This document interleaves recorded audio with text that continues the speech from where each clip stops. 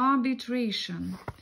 form of dispute resolution an alternative to litigation through the court system in which disputes are heard and decided by an impartial arbitrator arbitrators chosen by the parties to the dispute